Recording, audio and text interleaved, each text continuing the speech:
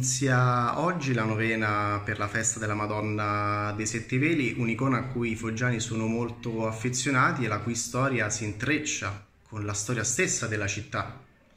Sì, esattamente perché il 13 agosto tra il 1061 e il 1073 qui c'era una palude e accade, secondo la leggenda, questo prodigio che sulla palude apparvero le tre fiammelle eh, di fuoco e i pastori andarono a vedere questo prodigio, si avvicinarono e trovarono avvolta in drappi un'icona.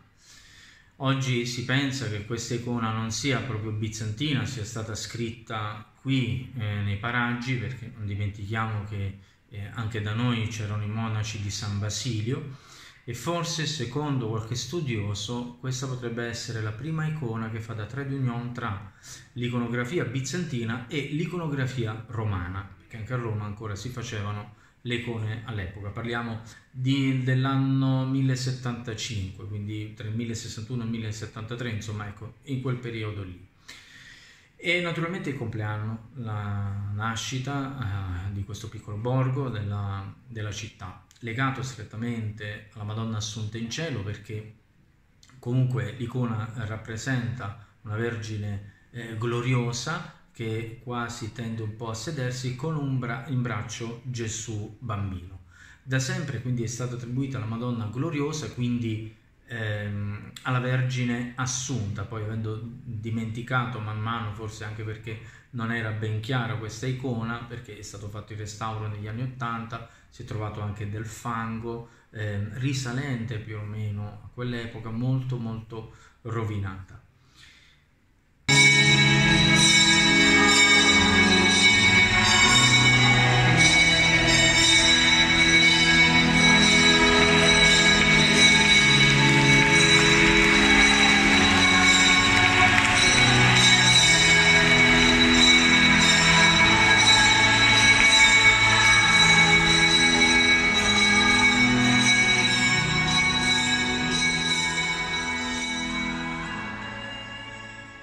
La festa comincia con il rito della vestizione, un rito caratteristico. Qual è il senso eh, di, di questo rito, appunto?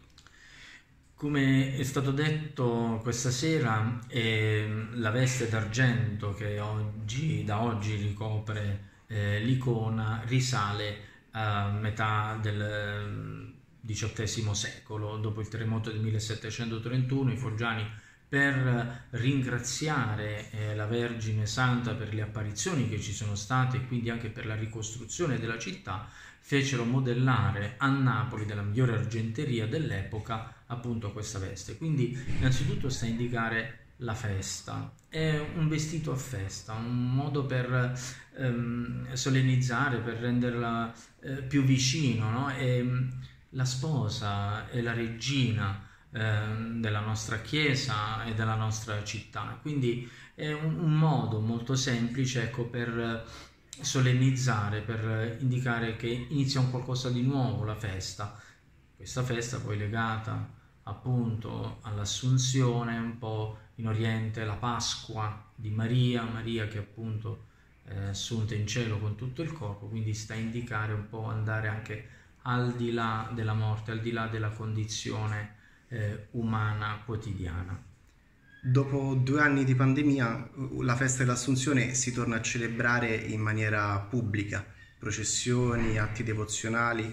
Qual è allora oggi, dopo due anni anche di paure, se vogliamo, il senso della festa dell'Assunzione? Qual è il messaggio che Maria dà oggi ai foggiani, ma anche al resto del mondo? Non abbiate paura. Questo è il messaggio che lei disse al santuario dell'Incoronata una, una settantina d'anni prima e certamente anche oggi a Foggia ripeterebbe queste parole. Non abbiate paura, io sono con voi.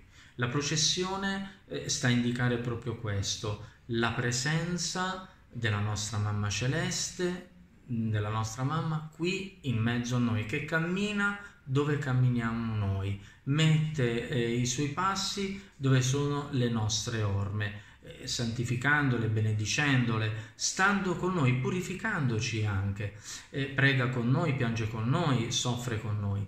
Naturalmente però ricordano le processioni un po' quelle degli antichi romani, quando appunto l'imperatore tornava a Roma trionfante e portava avanti i suoi prigionieri e poi dietro appunto tutto il corteo a festa. Ecco, è così ancora oggi, no? ricordiamo la vittoria di Dio sulla morte, sul male, sul maligno, su tutto ciò che è cattiveria, che è paura. Eh, ecco, il Signore trionfa.